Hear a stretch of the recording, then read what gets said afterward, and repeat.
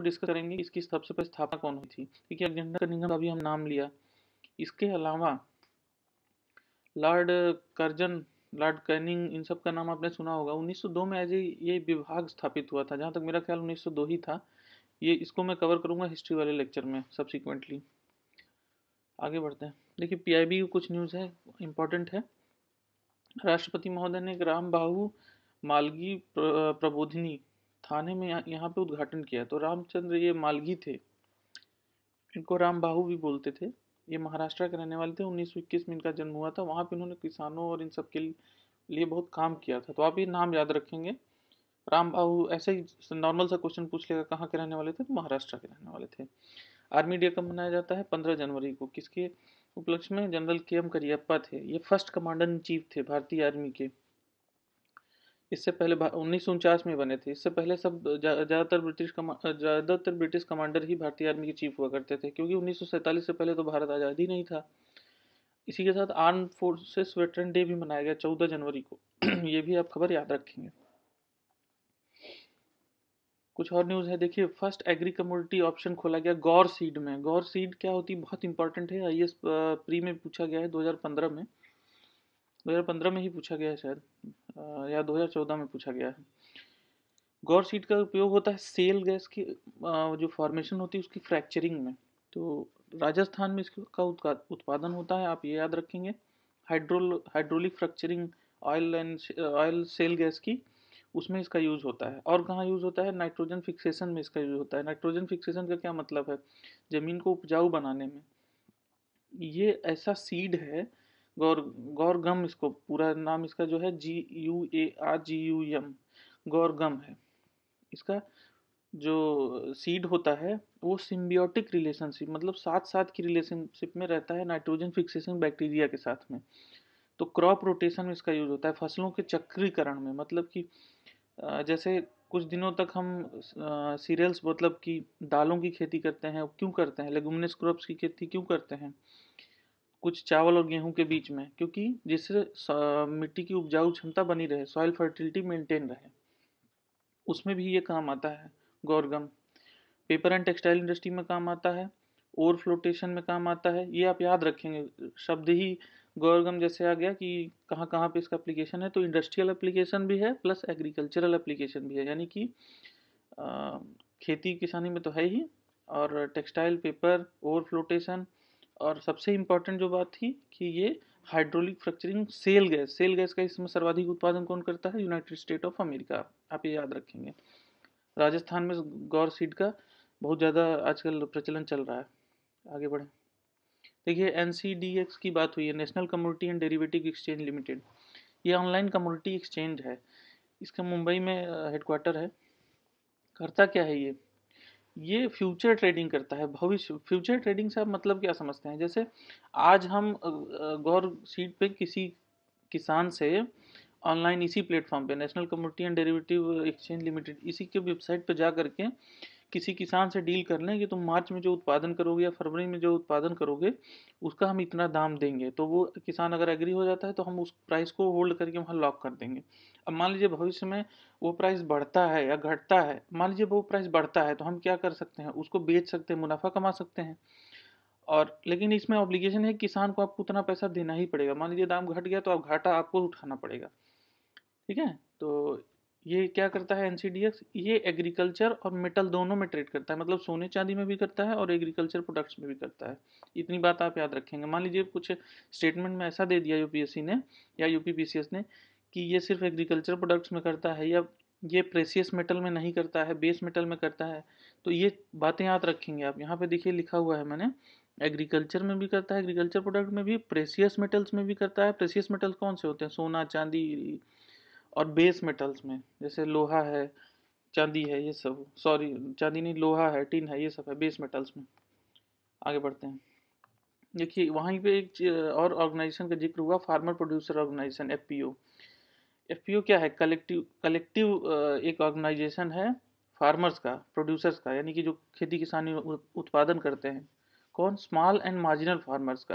ये big farmer का consortium नहीं है स्मॉल एंड मार्जिनल फार्मर्स का।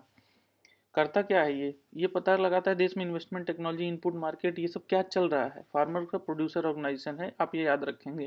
पहली बात, ये भारत सरकार की कोई संस्था नहीं है। ये एक सोसाइटी के तहत रजिस्टर्ड है। गवर्न कौन करता है इसका? Department of agriculture and cooperation under ministry of agriculture तो आप ये याद रखेंगे फार्मर प्रोड्यूसर ऑर्गेनाइजेशन किसी मंत्रालय के अंदर कोई संस्था नहीं है। ये एक सोसाइटी अलग से रजिस्टर्ड है उन्नीस सौ छप्पन के अंतर्गत, ठीक है? आगे बढ़ते हैं। इसी में एक बात और ज़िक्र हुआ कि डिपार्टमेंट ऑफ़ एग्रीकल्चर और कॉपरेशन जो मिनिस्ट्री ऑफ़ एग्रीकल्चर में आता है, वो स्मॉल फार्मर्स एग्रीकल्चर कंसोर्टियम इसको गवर्न करता है।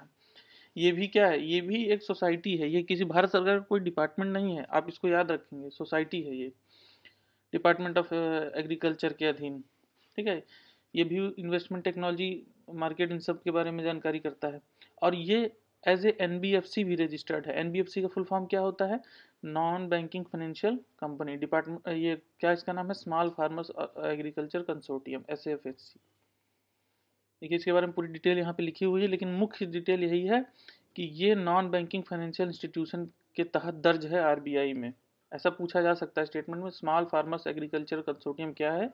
ये एनबीएफसी है नॉन बैंकिंग फाइनेंशियल इंस्टीट्यूशन ठीक है? आगे बढ़ते हैं। इसी में ज़िक्र हुआ था फ़ूड एंड एग्रीकल्चर ऑर्गेनाइजेशन का, आप ध्यान रखेंगे। फ़ूड एंड एग्रीकल्चर ऑर्गेनाइजेशन ये यूनाइटेड नेशन की एक संस्था है, संयुक्त राष्ट्र की।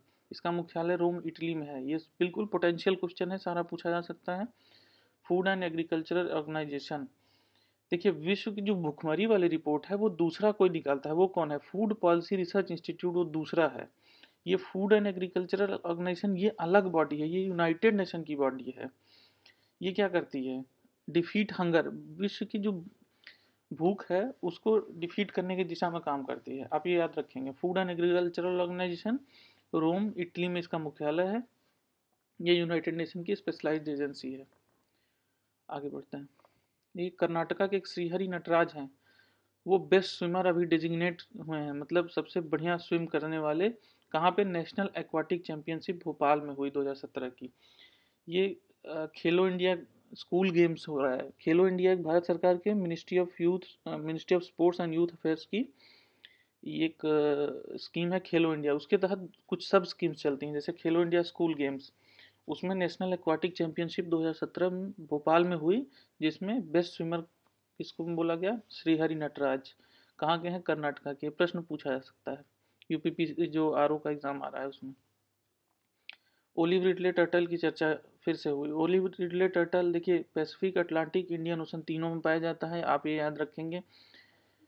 ये मास नेस्टिंग करते हैं। मास नेस्टिंग मतलब एक झुंड में जा करके वहाँ पे नेस्ट करते हैं। बच्चों को है अपना एग ले करते हैं, शोर पे।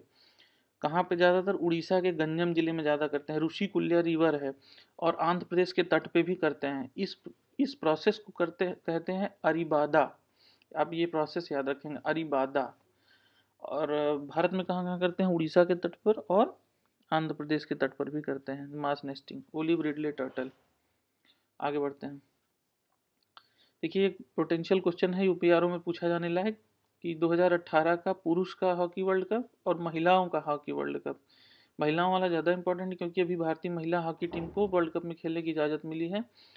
2018 वाला कहाँ पे होना वाला है? लंदन, इंग्लैंड में वर्ल्ड कप, हॉकी महिला का। पुरुषों का कहाँ होगा? भारत में होगा। ये और इम्पोर्टेंट है। उड़ीसा में होगा। आप ये याद रखिएगा, पुरुषों का हॉकी का वर्ल्ड कप 2018 का, वो भारत में होगा। और महिलाओं का हॉकी वर्ल्ड कप कहाँ पे होगा 2018 का? लंदन, इंग्लैंड में। ये आप याद रखेंगे। और एक छोटी सी खबर थी, इंडियन एयरफोर्स ने अभी सातों समिट का अपना कंक्यूरन पूरा किया। मतलब उस सातों समिट जो पूरे विश्व की सात सबसे ऊँची चोटियाँ हैं अलग अलग कॉन्टिनेंट्स की, उनको स्केल किया। तो हम एक झटके में जल्दी से देख लेते हैं कि सात विश्व की सबसे ऊँची चोटियाँ कौन कौन सी हैं अलग अलग महाद्वीपों में।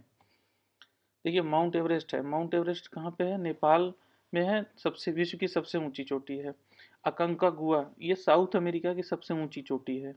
अकंका गुआ आप याद रखेंगे। Mount McKinley Mount McKinley North America की सबसे ऊँची चोटी है। माउंट किली मंजारो माउंट किली मंजारो आप याद रखेंगे, इसका तो देश भी याद कर लीजिए कई बार पूछा जा चुका है, देश किसमें है? तंजानिया में, अफ्रीका अफ्रीका का सबसे ऊँची चोटी है माउंट किलीमंजारो किस देश में है? तंजानिया में। माउंट एल्ब्रस यूरोप की सबसे ऊँची चोटी है, कहाँ पे है? रशिया में। अब रशिया के दो पार्ट हैं, एक एशिया में भी पड़ता है, एक यूरोप में भी पड़ता है तो यूरोपियन रशिया में माउंट एलब्रस है। अंटार्कटिका की सबसे ऊँची चोटी, विंसन मासिफ ये आप याद रखेंगे। सबसे लास्ट में विंसन मासिफ ही गए थे। देखिए विंसन मासिफ किसी देश में नहीं आएगा। क्यों? क्योंकि अंटार्कटिका एक कॉन्टिनेंट वहाँ कोई रहता ही नहीं है। वो एकदम बर्फ़, वहाँ पे बस रिसर्च स्टेशन हमारे हैं। कुछ हमारे भारत के भी हैं, कुछ जापान के हैं। आप लोग कमेंट बॉक्स में बताइए कि भारत के कौन सा रिसर्च स्टेशन दक्षिणी ध्रुव पर है? और ऑस्ट्रेलिया ऑस्ट्रेलेशिया इसको एक्चुअली ओसनिया भी बोलते हैं, जिसमें ऑस्ट्रेलिया, न्यूजीलैंड, पापुआ न्यूगिनी ये सब कंट्रीज़ आती हैं ऑस्ट्रेलेशिया या ओसनिया। इसकी सबसे ऊँची चोटी पंक पंकक जाया है। पंकक जाया का आप याद रखेंगे? इतनी सी खबरें थी आज। आज के लिए बस इतना ही। थैंक यू सो मच और आज शाम को करीब दस बजे के आसपास लेक्चर अपलोड होगा, जिसमें हम हड़प्पा सभ्यता से रिलेटेड और बुद्धिज़्म, अशोका इन सबसे रिलेटेड जो आज खबरें आई हैं अशोक और चीनी यात, यात्रियों से संबंधित ये हम रिवाइज करेंगे। आशा है कि आप पढ़ के रखेंगे पहले से घटना चक्र से ही मैं पढ़ाऊँगा। हम रिवाइज करेंगे साथ साथ। देखिए समय कम है तो मेरा पूरा जो रिवीजन पे ही है क्योंकि अगर आप स्वाध्याय तो खुद से कर ही रहे होंगे। अगर आप खुद से नहीं पढ़ रहे हैं तो कोई टीचर आप चाहे जितना आपका लेक्चर ले ले आपका सिलेक्शन बहुत मुश्किल है। मैं माफ़ी चाहता हूँ कि ऐसा मैं ऐसी बात बोल रहा हूँ लेकिन आप ये जान लीजिए अगर सेल्फ स्टडी नहीं है तो सिलेक्शन मुश्किल है। Thank you so much